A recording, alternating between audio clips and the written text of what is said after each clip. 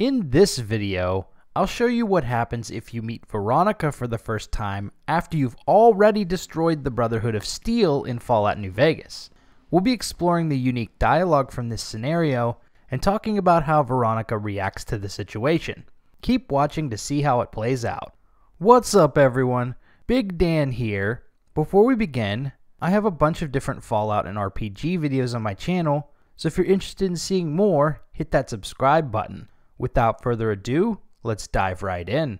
When you meet Veronica for the first time at 188 Trading Post, she will ask your opinion about the Brotherhood of Steel. Depending on your responses, this usually leads to Veronica revealing her membership in the Brotherhood and then asking to join you as a companion.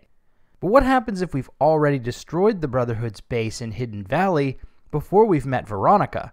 This presents us with some unique dialogue where we can tell her that we've killed all the Brotherhood members in the bunker. I had a run in with this group calling themselves the Brotherhood of Steel. Pretty strange bunch. Do you know anything about them? And? God, you're not lying, are you? You really did kill them. In that case, this is for them. Watch out now. Gotcha. Our rangers are gonna turn For the Brotherhood!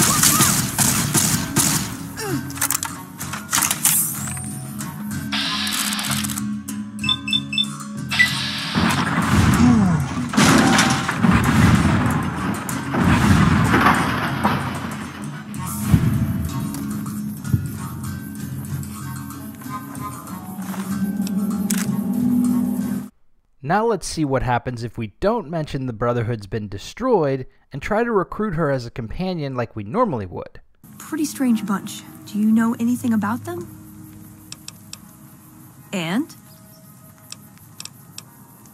You think? Well, good then. That puts me a little more at ease. Hey, so where are you headed anyway? This is quite a journey you're going on then. Must be an interesting relationship to have brought you all this way. I'll be honest. You're the first person I've run across out here that looks like he can really handle himself. There are places I've never been to that'd be too dangerous for just me. What do you think? Maybe we could travel together, help each other out.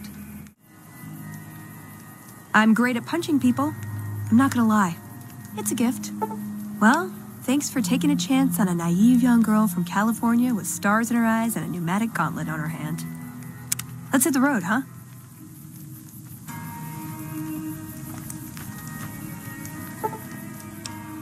Clearly, you're determined to fight the Brotherhood. Well, you can add my name to your hit list because you're on your own. Things are getting stranger every day. Our rangers are gonna show everyone what happens when we're pissed off. Leave me alone. Leave me alone. In this case, Veronica is immediately removed from our party. She will refuse to speak with us any further and is unavailable as a companion for the rest of the game.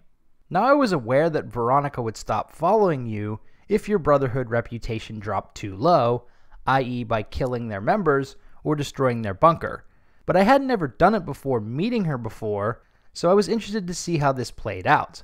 So there you have it. What happens if you meet Veronica for the first time after you've destroyed the Brotherhood of Steel? If you like this video, be sure to subscribe to Big Dan Gaming for more Fallout and RPG videos. Until next time, this has been Big Dan. I should go. Thought you'd sneak up on me, you filthy powder ganger? Huh. Got some stones on you, son. I like that. What can I do for you?